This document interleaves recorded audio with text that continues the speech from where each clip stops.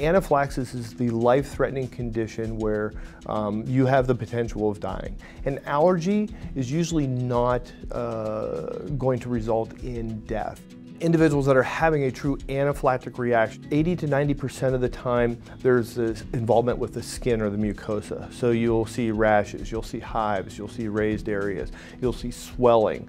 There may be other aspects such as respiratory distress, low blood pressure, altered mental status. Anaphylactic reactions, even for the same individual, may present themselves differently each time. So there's no standard of have this, therefore this is it. So the treatment of anaphylactic shock is by the use of an epinephrine auto-injector. It is intramuscular, meaning it goes into a large muscle, which at this point in time is being identified as the outside of the thigh. Uh, you need to be familiar with its operation and read the directions, and if you're not sure, you need to talk to a healthcare professional that is able to assist with your uh, education and learning how to use the device. 33% of the people that are prescribed auto-injectors, at least here in the United States, um, don't carry it with them.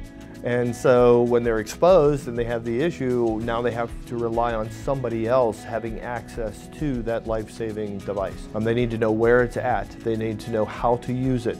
Um, they need to be able to possibly identify that you are having an anaphylactic reaction because you may not be effectively able to communicate that to them. You and those around you need to be able to um, be ready for this to happen because it is survivable if you know what to do and you immediately have access to the tools that are going to allow you to make that happen.